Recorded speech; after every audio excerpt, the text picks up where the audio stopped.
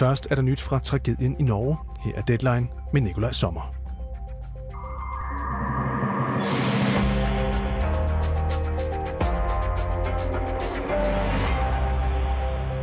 God eftermiddag og velkommen til dagens første deadline med en nyhedsoversigt og vejr.